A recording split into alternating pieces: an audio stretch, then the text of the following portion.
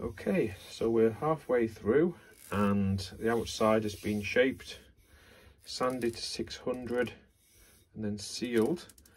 There's some lovely figuring on this piece of beech, um, really nice actually. It's going to make a very pretty little bowl. So let's get it flicked over and hollowed out.